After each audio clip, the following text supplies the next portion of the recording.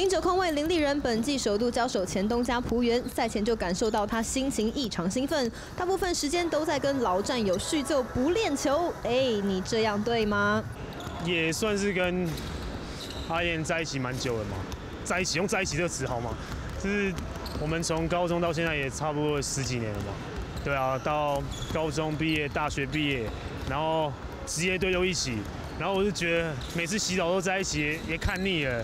所以也应该也差不多该分开了，毕竟他也结婚了，那不能再跟他老婆抢他了嘛。希望他他可以就是尽尽他的能力啊，然后帮就是带领他的金九，然后赢球这样，然后也也也也也不要得太多分，对。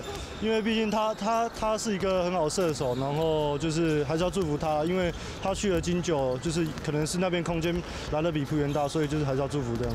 过去在浦原担任替补，现在来到金九获得更多上场空间。今晚对手又是最熟悉的好朋友小丽，可是有很多愿望呢。最想要在谁面前投三分哦？第一个应该是金榜吧，毕竟他是呃 SBL 大锁。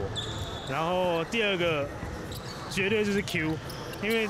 我每次以前在每次在球队练球的时候，我只要投三分都会被他笑，我也不知道为什么，他觉得他比我还准，所以我也蛮想在他面前投三分的。基本上小丽本来就有这个实力啦，那看了前几场，我觉得他自己可能还没有完全调整好。那我觉得我我我会一直在把他摆在球场上，我也希望说他赶快能够找回找回他往日三分球王的的威力嘛。到底这位昔日的三分球王面对橘色军团能否达到保总的要求，就让我们拭目以待。YTV 新闻采访报道。